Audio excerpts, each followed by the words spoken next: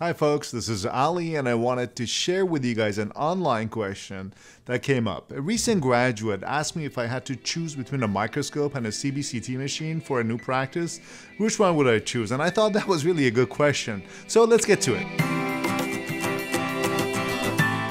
Okay, first let me clarify that my answer is coming from an endodontist's perspective, and it may differ if you're a general dentist or a different specialist, all right? So keep that in mind. And also, let me get this out of the way and be clear that I believe that both the microscope and the CBCT are staples of the modern endodontic practice, and they both provide an invaluable and a non replaceable service to the endodontic surgeon.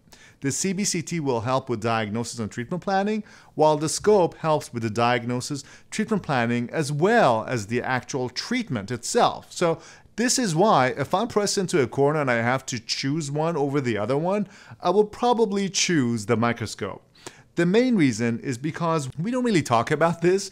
There really are two different types of root canal procedures that are done in our profession. One is done microsurgically, and the other is done with the naked eye or with the aid of low power loupes. And there's really no question in my mind or any other experienced endodontist's mind that the procedure that is done under the microscope is clearly more predictable because you can see better and obviously you only treat what you can see. Yes, we may get away without the scope in some simple anterior teeth using the naked eye. When it comes to more complicated root canal anatomies, however, where the access preparation is complicated, these two modes of treatment aren't even comparable. Frankly, I realized how important the scope is to my personal practice when I recently tried to do a molar demo for someone without having my scope around. I had to stop in the middle of the thing because I couldn't see anything with the naked eye, and I have perfect vision, and that and I don't even wear glasses, at least not yet, right?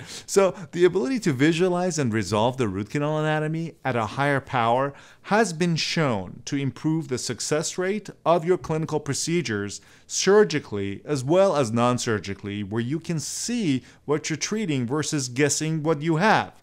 Where's that MB2 again? Oh, I think I can see it.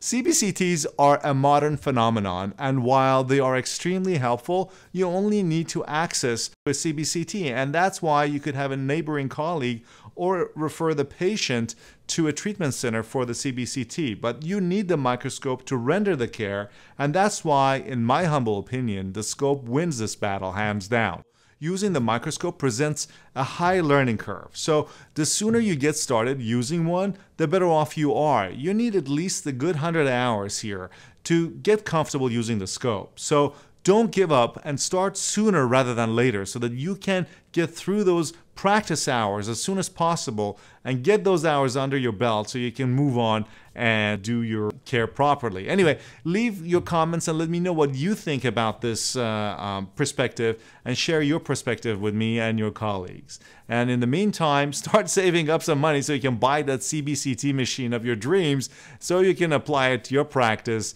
and improve the treatment planning and diagnosis for your patients and the rendering of your clinical care using the microscope. Anyway, for Real Dendo, I'm Ali Nasseh. I hope this little quick tutorial was helpful.